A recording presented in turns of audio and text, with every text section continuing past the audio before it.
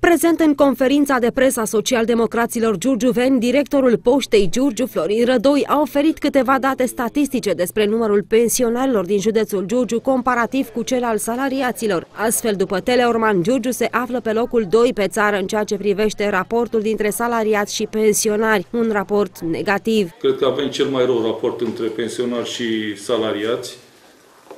Sunt circa 14.000 de pensionari CAP, și aproape 70.000 de pensionari de stat, din care 9.400 au pensiile pe carte.